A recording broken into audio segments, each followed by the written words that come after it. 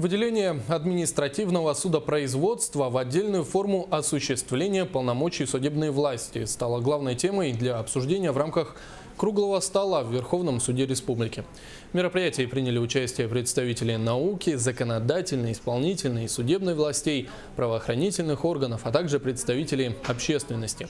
Круглый стол прошел под эгидой Российского объединения судей. Общероссийская организация была основана в 2012 году по инициативе представителей судебной системы 48 регионов России.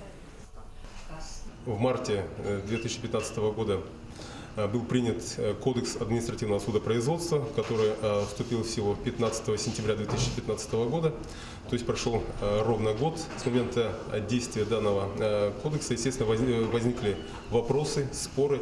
И значит, с помощью Российского объединения судей мы имеем возможность сегодня провести такое мероприятие.